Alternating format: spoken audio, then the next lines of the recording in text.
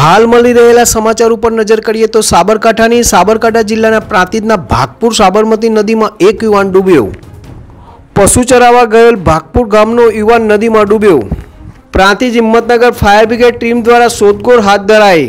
પ્રાંતિજ મામલતદાર તાલુકા વિકાસ અધિકારી તલાટી સહિત પ્રાંતિજ પોલીસ ઘટના સ્થળે દોડી આવી. સાબરમતી હાથમતી નદીના સંગમ પાસે યુવાન ડૂબ્યો. દિનેશસિંહ હઠીસિંહ રાઠોડ નામનો યુવાન નદીમાં ડૂબ્યો. યુવાન શંકપુર ગામના પશુ નદીમાં પાણીમાં ડૂબતા બચાવવા ગયો હતો. યુવાને પશુને તો બચાવ્યા, પણ પોતે નદીના પાણીમાં ગરકાવ થયો. પ્રાંતિજ હિંમતનગર ફાયર બ્રિગેડની ટીમ દ્વારા છ કલાકની શોધખોળ બાદ પણ યુવાનનો કોઈ પતો લાગ્યો નથી.